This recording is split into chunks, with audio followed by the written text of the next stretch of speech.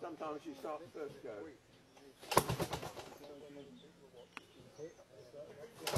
There's a law involved here, Ken.